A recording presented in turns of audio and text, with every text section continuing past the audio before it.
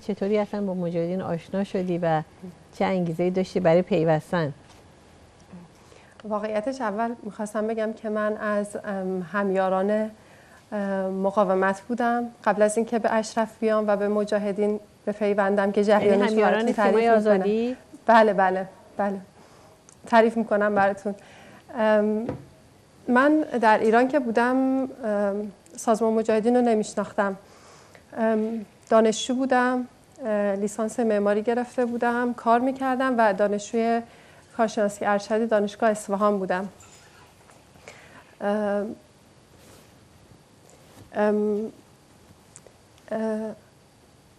زیاد سازمان رو نمیشناختم اما همواره دنبال اینکه چه چیزی می‌تونه جایگزین این رژیم باشه و این رژیم رو سرنگون بکنه. واقعیتش از دیدن چیزایی که بقیه خواهرامون گفتن از سرکوب و ستمی که نسبت به زنان از مدارس تا دانشگاه ها محل کار وجود داره معتادسازی و ورود مواد مخدر به صورت سیستماتیک توسط خود دولت تو ایران خود رژیم تو ایران صورت می‌گیره تا بتونه جامعه رو به تخدیر بکشونه و این توان و پتانسیل شورشی و انقلابی رو خاموش کنه. از کودکان خیابانی فقر و فلاکتی که تو ایران وجود داره سرکوب و همه این چیزها رو می‌دیدم و دنبال تغییر این شرایط بودم. اما چیزایی که تو اطراف می‌دیدم از حرکت هایی که صورت می‌گرفت چیزی نبود که بخواد به سرنگونی رژیم منتهی بشه و بیشتر نامید بودم نسبت به اون چیزایی که می‌دیدم. تا اینکه توسط یه سری از دوستان نزدیکم و همکارام با اسم سازمان رو شنیدم و با سازمان آشنا شدم. البته صحبت کردن با از سازمان چیز آسون راحتی تو ایران نیست چون بالاترین مرز سرخ رژیم سازمان مجاهدین هست و رژیم میبنده مرزهاشو که کسی از سازمان وارد دستگاهش نشه. و این بیشتر برام جای سوال ایجاد می‌کرد کدوم سازمانی هست کدوم مقاومتی هست که رژیم اینطور به عنوان دشمن اصلیش در نظر می‌گیره. اول از طریق اینترنت سیمای آزادی رو می‌گرفتم اما با اینترنت سرعت پایین و فیلتر شکن که میشیدم یعنی خیلی سرعت یعنی چیزی دقیقی از سیما نمی‌دیدم. بیشتر یه سری کتابا دانلود می‌کردم از سایت سازمان اما این آشنایی بیشتر جایی قوت گرفت که ماهواره گرفتم و تونستم سیمای آزادی رو ببینم. در ادامه این موضوع یه نقطه متوجه شدم اون دوستایی که من از طریقشون آشنا شدم با سازمان از ایران خارج شدن و به اشرف اومدن برای اینکه به مجاهدین بپیوندن. البته این یه برام یک نور امیدی بود چون تا قبلش فکر می‌کردم سازمان نفر جدیدی رو نمیپذیره. همینجا بگم اون مدتی که سیما رو می‌دیدم یه پیامی از رهبر کبیر مقاومت. شنیدم که به اعضای مقاومت و کاندیداهای عضویت داده بودن. همونجا یه جرقه تو ذهنم زده شد که حتما نفرات جدیدی هم میپذیرن تو سازمان. خلاصه اینکه اون دوستانی که اومده بودن یه میزان پولی به من امانت داده بودن که به سازمان کمک کنم. رفتم به یه شماره حسابی بود. اون پول رو واریز کردم. این مدت زیادی طول نکشید تا اینکه بعد خودم دوباره از ایران خارج بشم و بتونم به سازمان بپیوندم به مجاهدین. البته اینکه بتونم تو همون نقطه کمک بکنم به سیمای آزادی که خودش یه وسیله و کانالی بود که خودم بتونم مسیر زندگیمو انتخاب, انتخاب بکنم و بتونم یک راه فلاحی پیدا بکنم در مقابل رژیم برای تغییر و اینکه واقعا بخوام بگم مثلا واژه درستش رو من از طریق سیمای آزادی سازمان رو پیدا کردم و این مسیر زندگیمو و اعتقاد دارم مسیر آزادی ایران رو هموار کرده.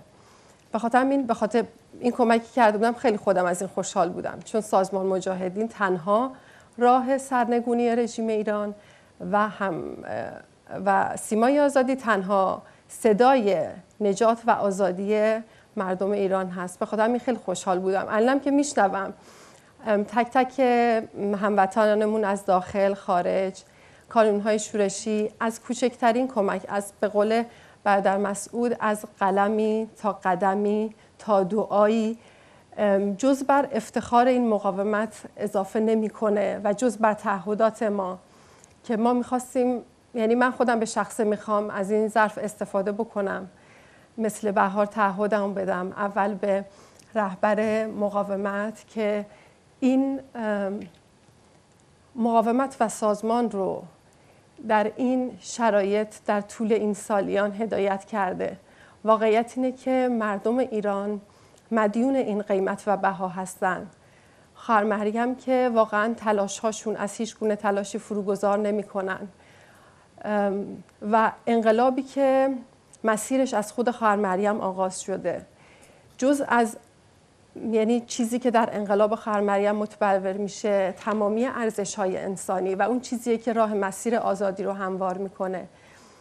و اینکه تشکیلات مجاهدین تنها چیزی است که پاسخ این شرایط ایران تنها چیزی که می‌تونه جامعه ایران فردا رو آیندهش رو در بهترین حالت متصور رقم بزنه. یعنی من با آشناییم با سازمان از طریق سیمای آزادی مسیر روشن ایران فردا رو پیدا کردم. به خاطر همین خیلی قدردانه. حتی کوچکترین کمک ها هستم و می‌خواستم همینو از همین ظرف استفاده بکنم بگم.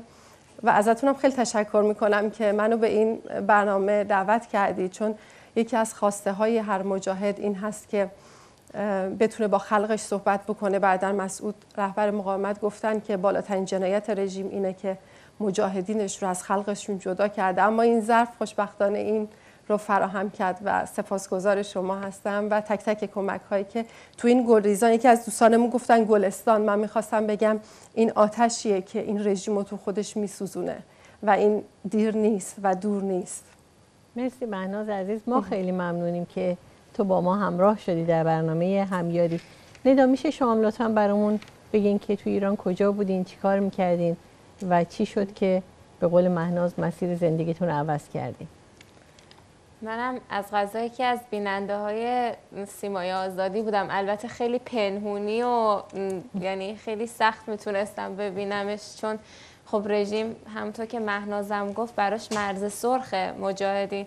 ولی برنامه های سیمای آزادی رو دنبال می‌کردم و توی خانواده هوادار سازمانم بودم ولی یک برنامه بود به اسم دختران آفتاب که اون سال من این برنامه رو حتما دنبال می‌کردم چون در رابطه با زنان مجاهد بود و این خیلی برای من انگیزاننده بود. وقتی زنای مجاهد رو می‌دیدم در حالی که راننده تانک هستن و کارهای خیلی سختی رو می‌کنن که یه زن تو جامعه عادی اصلا تو جامعه نمی‌تونه این چنین کاری بکنه یعنی هیته چنین کاری تو جامعه ایران بهش داده نمیشه رو انجام میدن در عین حال کارهایی مثل.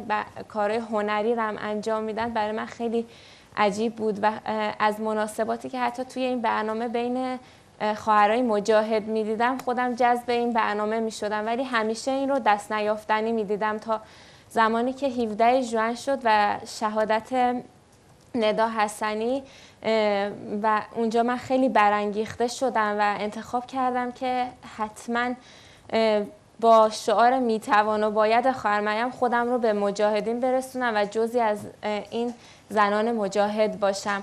وقتی هم که اومدم و پیوستم یعنی همون روزهای اول اولین چیزی که من چشمم رو گرفتش عشقی بود که بین این مجاهدین بین خواهرای مجاهد وجود داشت و چیزی که تو هیچ جای دنیا من ندیده بودم. یعنی ندیده بودم اصلا چنین چیزی. ولی وقتی که یکم بیشتر توی مناسبات مجاهدین بودم سرمنشه و سرچشمه این عشق رو توی خانمریم پیدا کردم.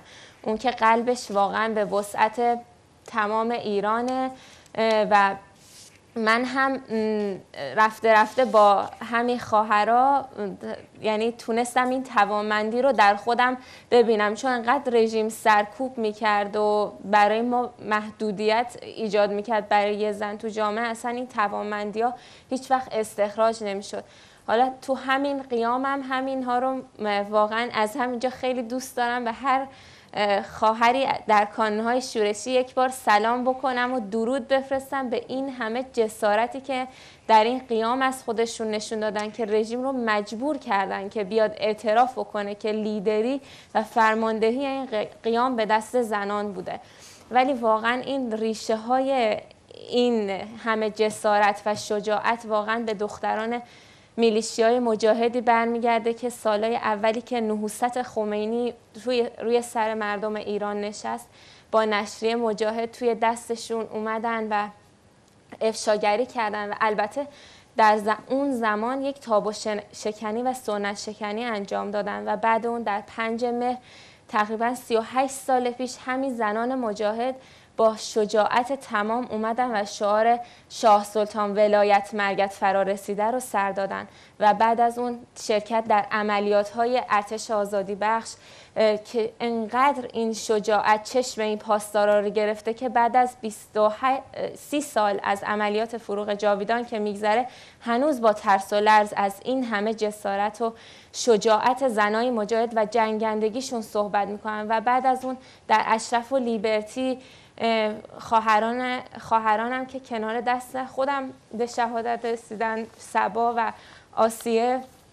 یه عزیزم و سبا در آخرین لحظات حیاتش که گفتش که ما تا آخرش ایستاده ایم و امروز در خیابانهای تهران در امتداد اون ایستادگی می‌بینیم که چطور زنان ایران ایستادن و این رژیم یک روز خواهر مریم گفت سرکوب شدگان امروز فاتحان فرداین و رژیم ضربه رو از جایی می‌خوره که بیشترین سرکوب رو کرد اولین سرکوبش رو روی زنان ایران کرد و ضربه رو دقیقا از همینجا خواهد خوردش. و اینم بزرگترین انگیزه من برای پیوستن به مبارزه بود که از طریق سیمای آزادی هم باش آشنا شدم اولین بار. درود بر شما ندای عزیز. خب بهار جان شما می‌تونین برامون بگین چه پروسه طی کردین؟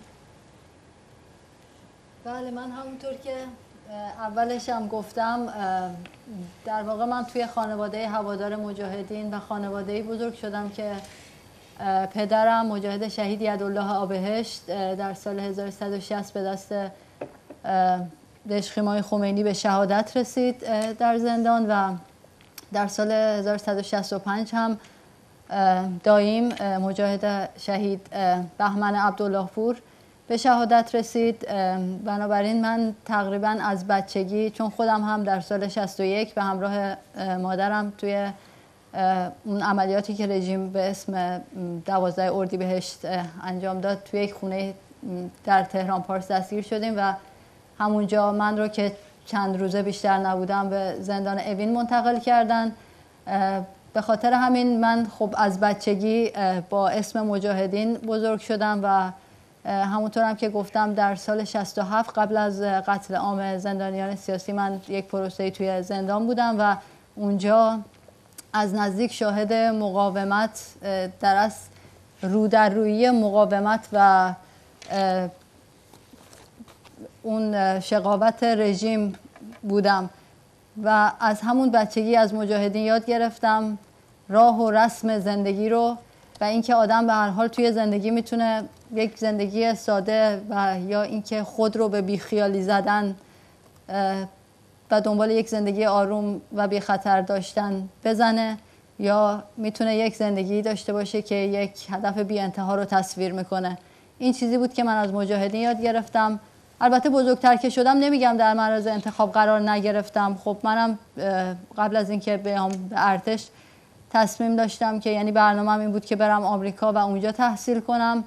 ولی خب می‌دونستم که من جوابم رو اونجا پیدا نمی کنم به خاطر همینم و همینطور شخصیت برادر مسعود که خب به هر حال خیلی تاثیر روی من داشت به عنوان کسی که تمام زندگیش رو وقف مبارزه نه فقط مردم ایران بلکه تکامل بشریت کرده. به هر حال اینجوری شد که من معنی و مفهوم زندگی رو توی میدونهای مبارزه پیدا کردم. و به ارتش آزادی بخش پیوستم. درود بر شما بهار عزیز. خیلی دوست داشتیم که واقعا بیشتر از شما بشنویم در همه زمینه ها از جمله درباره نقش زنان توی مقاومت و حتما صحبت هایی که داریم برای خواهرانمون در ایران. ولی متاسفانه خب همیاری هست و همیشه اولویت با تماس هست. سپاسگزاری می‌کنم از شرکتتون در این قسمت از برنامه همیاری و شما رو به خدای بزرگ می سپارم و براتون آرزوی موفقیت دارم. خدا نگهدارتون. خب بینندگان